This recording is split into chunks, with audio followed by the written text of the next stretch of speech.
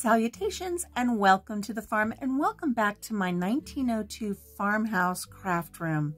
Today we're going to be working on our heirloom Afghan crochet along and we're working on week 37, the popcorn braid square. Look at how pretty this is. We've got our popcorns, we've got braids.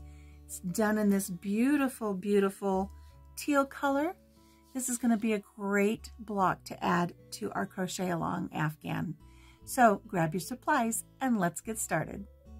So for this block, we're going to be using our size H crochet hook and whatever color you've determined to be color C for your Afghan. We're going to go ahead and start with a slip knot, leaving yourself a nice long tail to sew in later. Getting our yarn on our hook, we're going to chain 27 loosely. One, two, three, four, five, six, 25, 26, and 27. Now let's go ahead and we're going to move on to row one.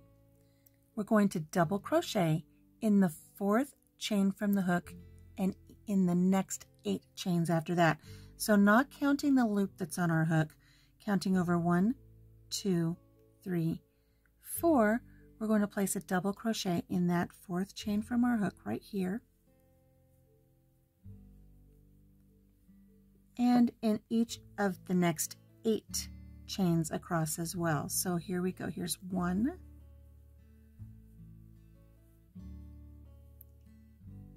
two, three,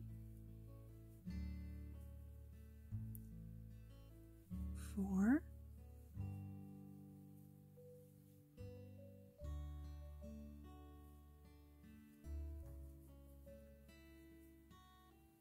five,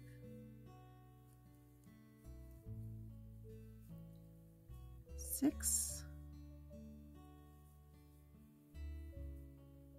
seven, and eight. Right here in this first row we're going to set up the foundation for our popcorn braid.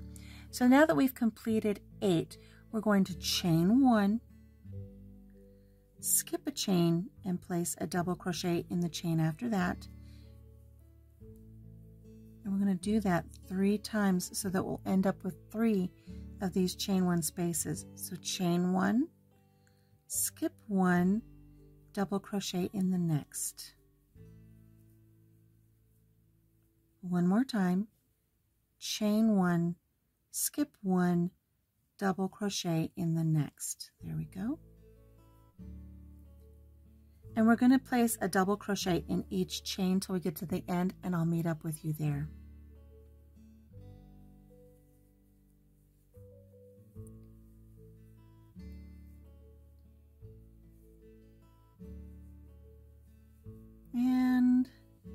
There's our very last double crochet of the row. Let's take our hook out and take a look at row one for our block here and discuss it because counting for this block is going to be really important for you. When we're done with row one, we want 25 stitches and these chains in between the double crochets count as a stitch. These chains that we skipped when we first started this row, this counts as a double crochet. It counts as a stitch.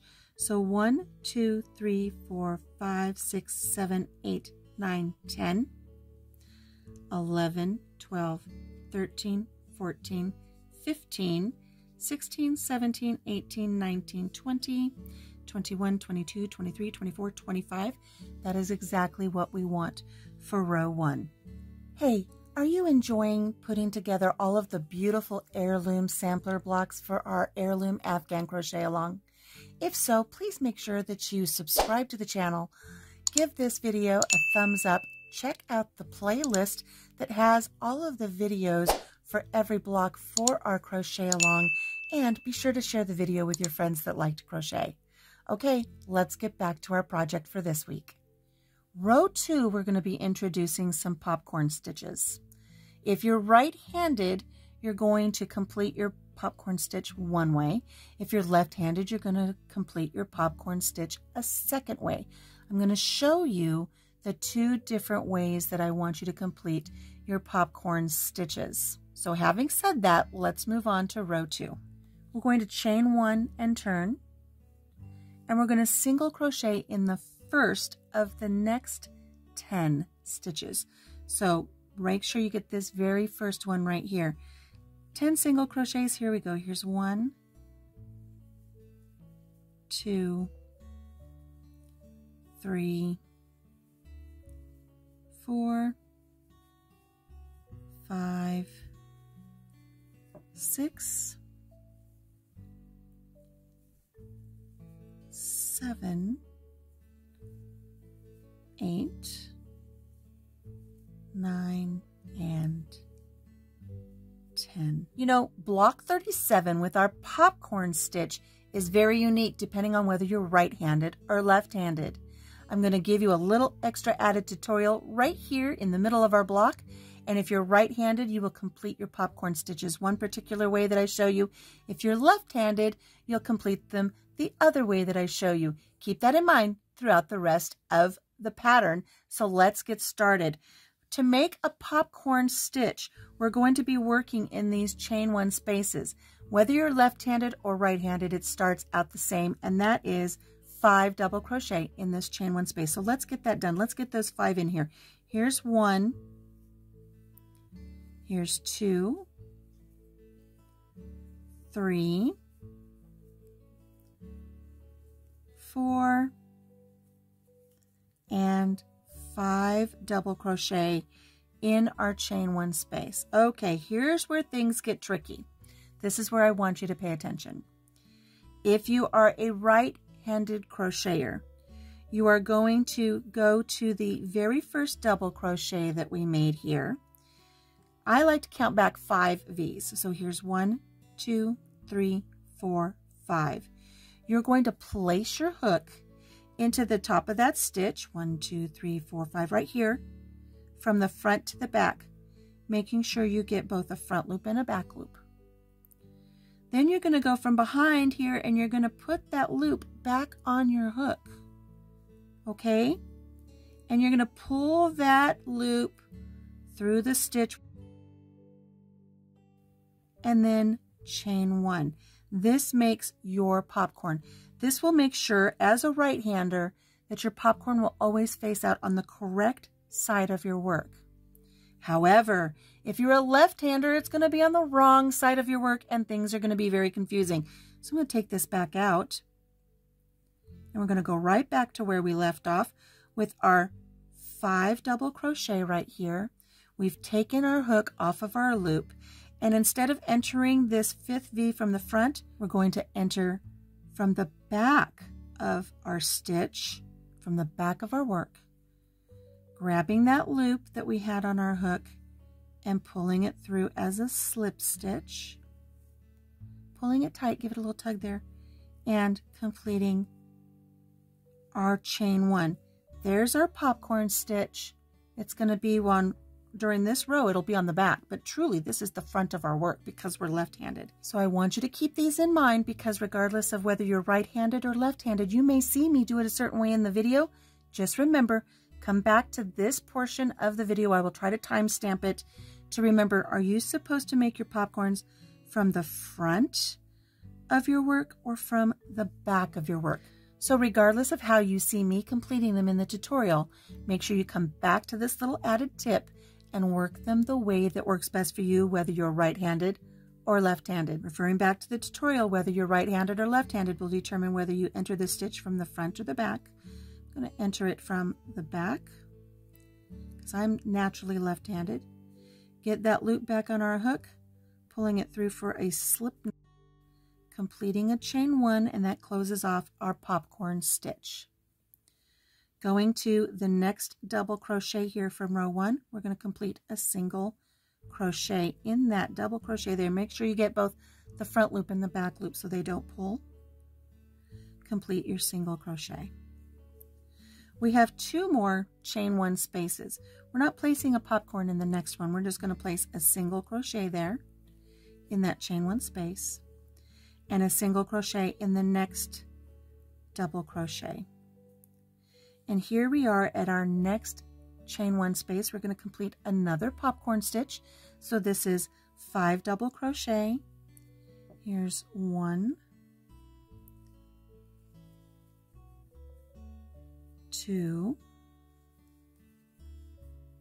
three, four, and five. Remove your hook. Now remember, if you're right-handed, you're doing it one way. If you're left-handed, you're doing it another way. I'm left-handed. I'm going to count back five. One, two, three, four, five V's. I'm going to enter from the back. Get that loop back on my hook and pull it through as a slip stitch. Chain one, that closes off my popcorn. And now I'm going to go to this double crochet right here and complete a single crochet. That brings our work back down to the level where we were working and that makes our popcorns pop. Look how pretty those are. Now we're going to complete single crochets all the way to the end of the row. There will be 10 total, so count this one as one. When you get to the end, make sure that you place a single crochet right here in this chain that you turned. And so we will have 10 total. So there's one, two, three, four, five, six, seven, eight, nine, and here we are to that chain. Just going to go right into that chain there and complete a single crochet for 10. And that completes our row two. And here we've got two popcorns sticking out. And as they, as you work your piece, they'll, they'll kind of like form into shape They're just perfectly fine. All right, let's move on to row three. We're going to chain three, one, two, three, and turn our work. We're going to complete a double crochet in each of the next five single crochet from the last row. Not here. This is our first single crochet. This chain three that we did, this counts as a double crochet. So this stitch already has a double crochet. So we're going to work a double crochet in the next five. So that means we move over here to start our first one here. So here's one double crochet, two double crochet, three double crochet, four double crochet, and five double crochet. There we go. This is where we're going to start introducing the braid portion of our work. We're going to start our braid, but we need to know exactly where we are all the way down here in row one. Since this chain three counts as a double crochet and we added five, we know that we've already come over six. Our next stitch needs to be in the double crochet below the next single crochet right here. But the way that lays, it's kind of in between two stitches. You might not know which one it is. Come down here to row one and count over six, remembering that these turnings ones right here these ones that we skipped, this counts as a double crochet. So one, two, three, four, five, six. We're going to be working front post double crochets around the next double crochet right here. And if you recall from earlier videos, when you work the stitch of a front post or a back post stitch, you go around the entire stitch. We're not working in the stitch, we're working around it. So our next stitch is going to be around this stitch that we've indicated right here. So I'm going to remove my hook and keep an eye on where that stitch is. Get my hook back on my work where it needs to be. And we're working around this post right here for a front post double crochet. So we're skipping this single crochet and we're working around this double crochet. They don't exactly line up together. That's why I count over. So let's complete this front post double crochet. Yarn over, entering from the front and poking your hook through to the back. Going behind the post of that stitch and poking your hook back up through the front, you now have captured the post of that stitch. We're going to yarn our yarn over and pull it back through that post so that we have three loops in our hook. Now we don't want this to stay down here. We need this work to be back up here at this level where we're working on this row up here. So just give it a little tug. Just a little tug to kind of bring this work back up to the level where you're working. If you don't do that, you're going to get a lot of puckers in your work and your work's not going to look right. Now we skipped this single crochet right here, right? We've worked in front of it. We don't need to work in that stitch. We're going to go to the next stitch, the next single crochet there, and we're going to complete a double crochet back on the level where we were working before. We want to do that again. So here's our front post. We're going to skip this one. We're going to go to this one here. We're going to do another front post. This is our braid grabbing our yarn and pulling it through around that entire post. Remember to give it a nice tug. Whoops. And complete. It's, it takes a little bit of coordination there. I don't always have it.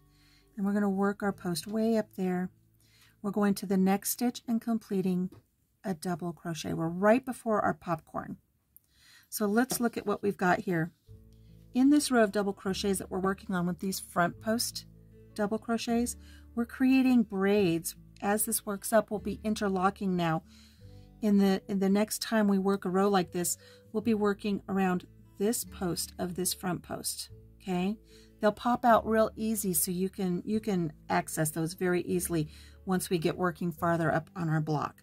But for now, let's complete this row three here. We're going to chain one. We need to make our spaces now, okay? Our three spaces that we had down here, we're going to make here as well. We're going to skip over this popcorn and we're going to go to the first single crochet right here and place a double crochet. That creates our first chain one space. So we can do popcorns later. We're going to chain one. We're going to skip a single crochet and place a double crochet right before our popcorn. Chain one. Skip our popcorn and complete a double crochet in the very first single crochet after our popcorn. Okay, and that creates our three chain one spaces for future popcorns that we're going to be working. Now, since we have a braid immediately before our popcorns, we need to have a braid immediately after our popcorns. So we're going to look at the fact that our double crochet is right above this double crochet here. We're going to go to the next double crochet and we're going to work a front post double crochet around the post of that double crochet from row one, completing that there. Okay. We're going to skip place a double crochet in the next right there. Okay. So since we worked on top of this one, we're going to go to our next single crochet and work right below it. Right here is our double crochet from row one. Yarn over. We're going to work a front post, double crochet around that stitch. Going to work over the stitch that we skipped and then work all the way across. We should have six double crochet now. So before we started our braid, we had six double crochets. Remember counting this chain that we did here, this counts as one. So one, two, three, four, five, six. Then we started our braid. Well, we've just finished our braid here, so, so we should have six going back. So let's count them as we go. Here's one, two, three, four, five, and right here at the very end is six. All right, let's really look at this row. We've got our two popcorns from row two, and then in row three, we started working our braids, keeping in mind that when we work our braid, our front post, we skip that single crochet that we worked in front of. If you ever find that your counts are off, make sure that you allowed yourself that skip for those braids. Okay, and as I said, as we work this, the popcorns will really stand out and really start making this beautiful. One, two, three. Let's move on to row four, which is still different yet from anything we've done. We're going to chain one and turn our work. and we're going to single crochet in the first 10 stitches across. Make sure you get that first one. One, two, three, four, five, six, seven, eight, nine, and 10. That should take you right to your first chain one space. We're going to work popcorns again, but they're going to stagger. So we're not going to work a popcorn in this very first chain one space. We're going to place a single crochet in the chain one space and a single crochet in the next double crochet. There we go. In this middle chain one space, we're going to work a popcorn. So again, our popcorn is five double crochet. Here's one, two, three, four, and five. Okay, now remember, as per our earlier tutorial, if you're right-handed, you're going to enter your stitch from the front to the back. If you're left-handed, you're going to enter your stitch from the back to the front. We're going to count over five stitches. I like to count the V's. One, two, three, four, five. Since I'm naturally a left-hander, I'm going to enter from the back. Grab that loop and pull it tight on my hook. Pull it through to complete a slip stitch. Chain one to lock our popcorn in place. Then we're going to go right here and we're going to complete a single crochet in it to make our popcorn pop. Okay, we'll look at that in just a second. Here we're in our last chain one space. We're not working a popcorn there, so we're just going to place a single crochet there and single crochets the rest of the way across. No front posts, nothing, just our single crochets and our one popcorn.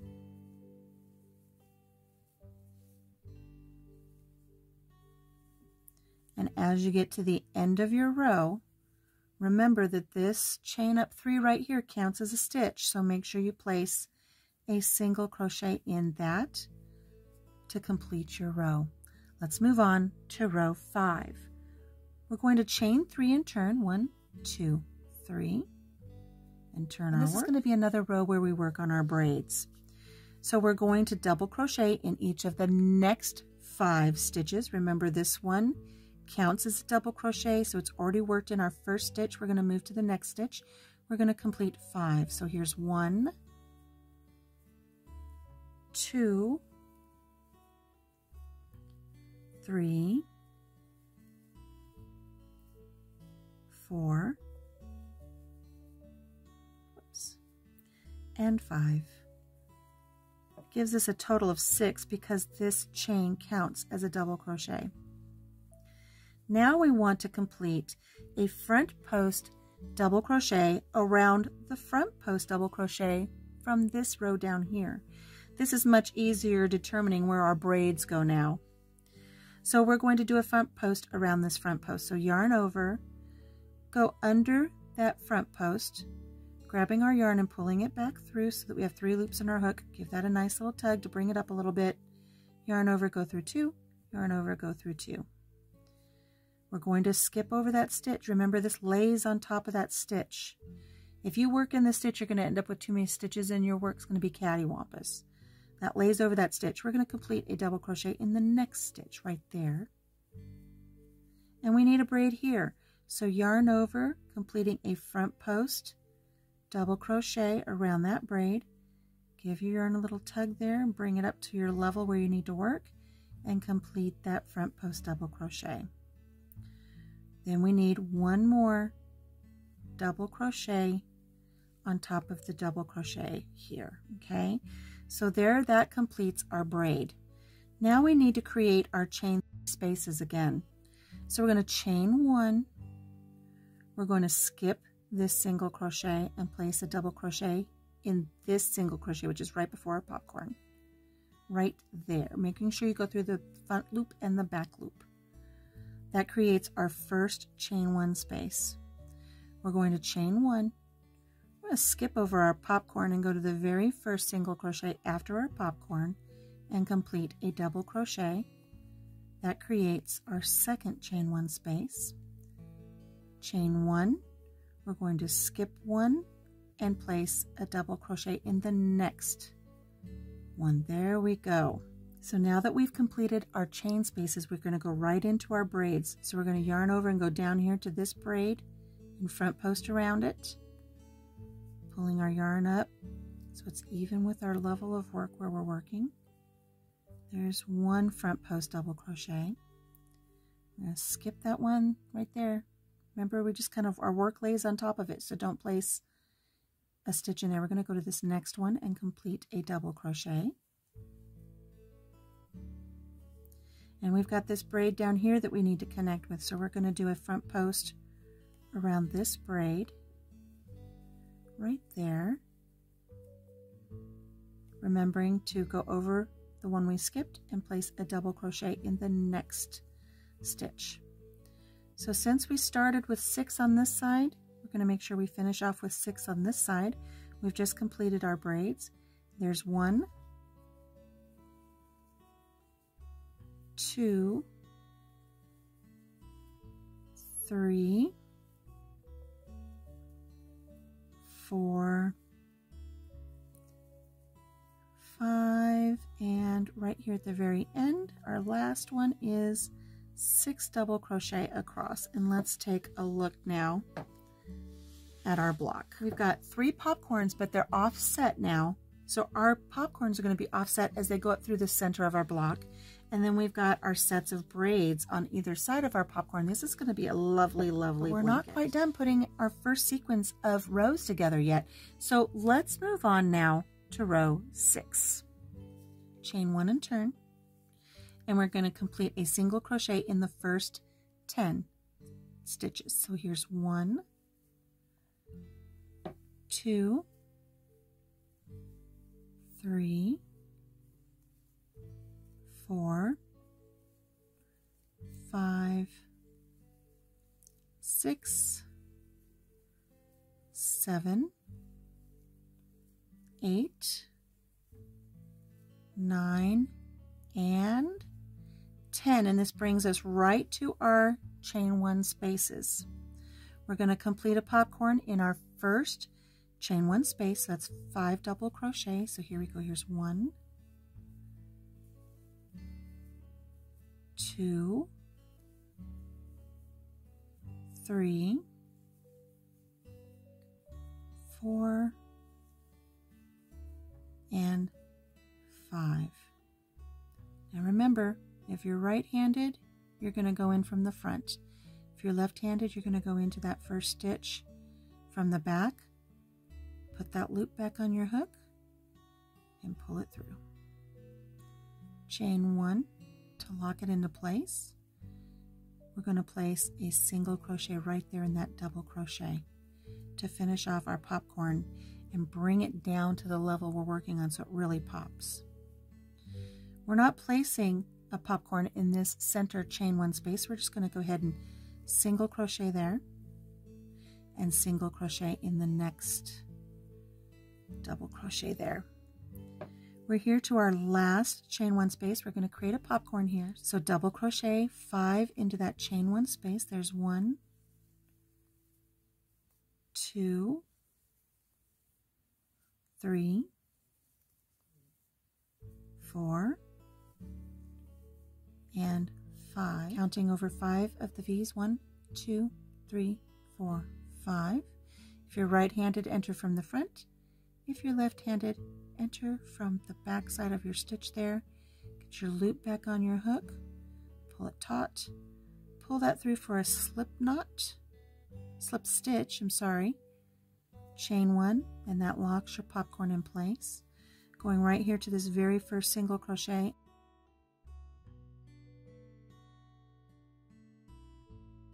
This one here counts as one. We should have 10 by the time we get to the end. So here's two, three, four, five, six, seven, eight, nine, and 10. That completes row six. Let's take a look at it here. So here we've got our popcorns are really starting to take shape and you can see our braids coming together. We have one more row to complete in our repeat and then I will set you up to complete the rest of your block. So let's move on to row seven. We're going to chain three, one, two, three, and we're going to turn our work. We're going to double crochet in each of the next five stitches, not the first one, the next one. So here we go. We've got one, two, three, four, and five. So keep in mind that this chain up three counts as a stitch. So in essence, we have six double crochet right there. Skipping this one and coming down and working our braid, we're going to do a front post, double crochet around that braid. Make sure you tug to give yourself that extra room. Working past the one we skipped, completing a double crochet in the next single crochet right there. We're going to work the next part of our braid, so front post, double crochet right there, give it a tug and bring your work up to your level of the row you're on. And we need to do one more double crochet before we get to our popcorn right there. Now we're going to create our chain one spaces. So we've got our double crochet here. We're going to chain one, skip over our popcorn and place a double crochet right here in the very first single crochet. Chain one, skip the next single crochet, go to the next single crochet after that and complete a double crochet that creates our second chain one space chain one, skipping over our popcorn and going to our first single crochet right here, right after the popcorn, and placing a double crochet. And that creates our chain three spaces. We're going immediately right into our braid. So we're going to yarn over, front post around that braid, pull it up to our level. Our dog, my dog's making noises, I apologize. And completing that double crochet. Make sure you don't go into that one that you skipped. Going to the very next stitch, complete a double crochet. We've got a braid here we need to work on, so doing a front post double crochet around that braid. Complete that stitch. Make sure you don't work into this stitch here. Go to the next stitch and place a double crochet and we're going to work to the end of our row. We should have six. There's one, two, three, four, five, and six. Look at this, we made it. So this is the end of row seven. Let's take a look look at our work here. Now you can see, even though I'm doing these loose, you can see where they're kind of puckering and pulling. As your block comes together, these stitches are going to kind of get into place, and so you won't have to worry about that. Plus, once you get your border on and get this added to your afghan, you won't have a problem. So now what we need to do is we're going to repeat rows 4, 5, 6, and 7 until our block is the size that we need it for our heirloom afghan. I'm anticipating that I'm going to have to repeat those rows two more times. So rows four through seven will go here, and then rows four through seven will go here, and I should end up with a seven inch block. I'm hoping. I'm going to go ahead and complete rows four through seven until my block is the size that I need it, and I'll meet back up with you, and then we'll discuss our final steps for putting our block together. Hey, are you enjoying putting together all of the beautiful heirloom sampler blocks for our heirloom Afghan crochet along? If so, please make sure that you subscribe to the channel, give this video a thumbs up, check out the playlist that has all of the videos for every block for our crochet along and be sure to share the video with your friends that like to crochet. Okay, let's get back to our project for this week. And six.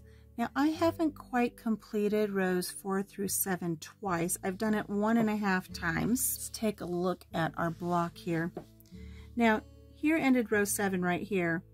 So I haven't quite completed it two more times. That would put me way up here. I did it one and a half times of a repeat and I think our block is about where we need it to be.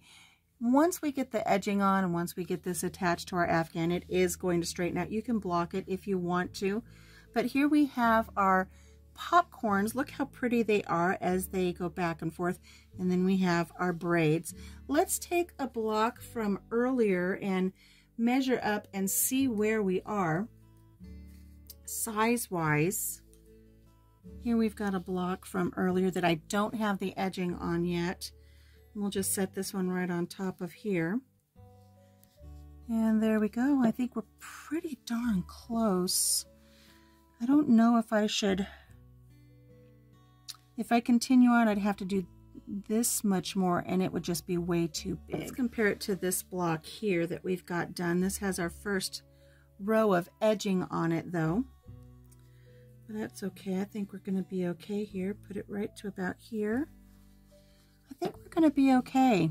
By the time we get our edging on both of them, I think this is going to be pretty good. So I would say repeat rows four through seven one and a half more times. You started with two popcorns here at the bottom of your square. You're going to want to make sure you end with two popcorns at the top of your square, but also you want to end with a double crochet row and then you'll add your single crochet round for your edging. You're ready for your edging and I'll put the uh, iCard for the tutorial right up here in the corner and that way you can add your edging to this and then there's just one more thing to do. Get yourself a little tag, mark this block as block 37, the popcorn braid, and you can put your edging on it and put this aside and it will be ready to add to the rest of your Afghan once we're ready to put them all together.